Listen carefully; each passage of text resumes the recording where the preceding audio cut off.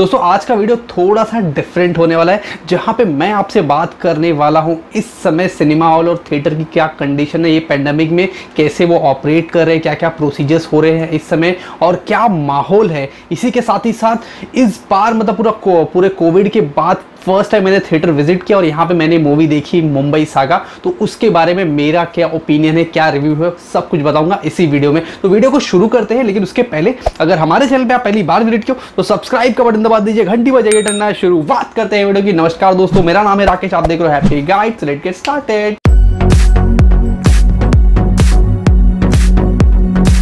तो दोस्तों, यहाँ पे सबसे पहले मैंने टिकट बुक की ऑनलाइन अमेजोन से और निकल पड़े अपने घर से थिएटर की तरफ़।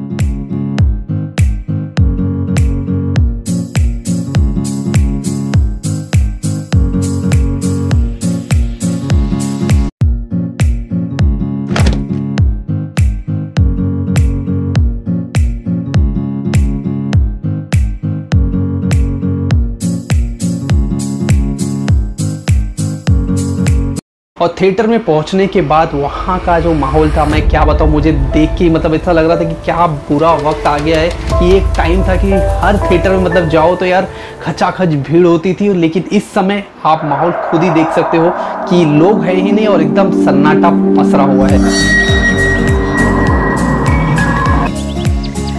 और थिएटर में पहुँचने के बाद हमने दिखाई वहाँ पे अपनी टिकट और वहाँ पे चेक हुआ।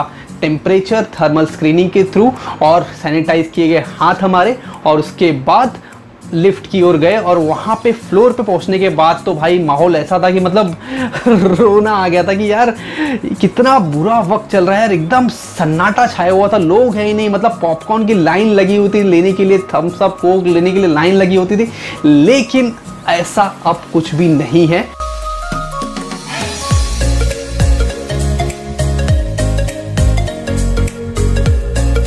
और उसके बाद हमने एंट्री की स्क्रीन नंबर थ्री में, जहाँ पे मुंबई सागा का हमें स्क्रीन दिया गया था।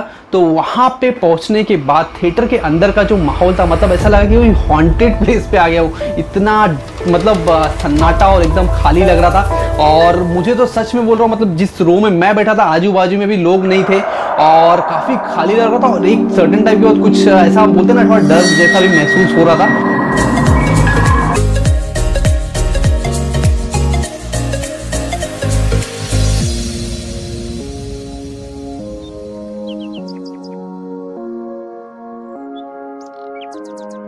और गवर्नमेंट के रूल्स एंड रेगुलेशन के हिसाब से जो भी इंस्ट्रक्शन दिए जा रहे हैं थिएटर वाले प्रॉपरली फॉलो कर रहे हैं। मतलब हर एक शो के बाद सैनिटाइजेशन हो रहा है। मास्क लगाना कंपलसरी है। हैंड सैनिटाइज तो करना ही आपको इंटरव्यू पड़ेगा ही। इसी के साथ ही साथ जो सोशल डिस्टेंसिंग को हर एक सीट के आजू बाजू वाला जो है, हर एक एक एक छोड़ के क्रॉस मारा गया है मतलब हमें सोशल डिस्टेंसिंग का भी फॉलो करना है। तो ये सारे रूल्स एंड रेगुलेशन के साथ थिएटर्स तो चल रहे हैं, लेकिन जो एक कॉमन पर्सन के लिए, जो लोग ने पहले थिएटर का एक्सपीरियंस किया था और अभी में बहुत ज़्यादा फ़र्क है। और पहले जैसा तो अभी कुछ भी ऐसा बोलता ना एक्साइटमेंट और इंजॉयमेंट का तो अभी कुछ है ही नहीं। क्योंकि यार वहाँ पे पहुँचने के बाद ऐसा लगा यार कोई हॉन्टेड प्लेस पे आ गए हो, इस समय ऐसी सिचुएशन चल रही है थिएटर्स की। तो आप इसे कह सकते हो कि भाई ये न्यू नॉर्मल है जो हम सभी को फॉलो करना है। मेरा तो फ़र्स्ट टाइम था और मुझे पता भी नहीं था कि यार इतना डेंजरस सीन चल रहा है भाई थिएटर के अंदर। तो भाई ये सारी बातें थी जो मुझे आपके साथ शेयर करनी थी। और इसे न्यू नॉर्मल कह के बोल सकते हो और ये कितने दिन तक चलने वाला है वो भगवान ही बता सकते हैं। इंसान के हाथ में तो है नहीं। और यहाँ पे बात करें मूवी के बारे में, मूवी कैसी थी? तो मूवी भाई बहुत ही बढ़िया है इंटरटेनिंग है फन है, और डायलॉग्स भी बहुत ही अच्छे हैं। और एक गाना मुझे जो उसका मतलब जो रिलीज़ क्या बोलते ट्रेलर में भी बताया था, जो डंका बजा दे रे मोरे वो गणपति के ऊपर बेचो, मुझे बहुत ही बढ़िया लगा, बहुत ही प्यारा सॉन्ग है। और इसी के साथ साथ मूवी बहुत अच्छी है। और बात करें यहाँ पे मेरे रेटिंग के बारे में, जो मैं पर्सनली इस मूवी को देना चाहूँगा तो यहाँ पे 3.5 आउट ऑफ़ 5 मैं इसको रेट करूँगा क्योंकि मूवी अच्छी है स्टोरी वगैरह भी अच्छी है और, और इसी के साथ ही साथ ऐसा बताया गया कि ये ट्रू स्टोरी से इंस्पायर्ड है। और यहाँ पे कुल मिला के अगर मूवी के बारे में बात करूँ तो मूवी भाई पैसा वसूल है। इंजॉय करोगे लेकिन जो थिएटर का माहौल है वो आपको शायद थोड़ा सा डिसअपॉइंट कर सकता है। तो दोस्तों यही थी सारी बातें जो मुझे आपके साथ शेयर करनी थी। मुझे उम्मीद है कि आपको ये वीडियो पसंद आएगा। अगर पसंद आए तो लाइक ज़रूर कीजिए शेयर कीजिए और हमारे चैनल को सब्सक्राइब किया कि नहीं किया ज़रूर कीजिए। हम आपके लिए इंटरेस्टिंग और धमाकेदार वीडियो इस चैनल पर लेके आते रहते हैं। तो till then keep smiling and keep watching Happy Guide. Bye bye.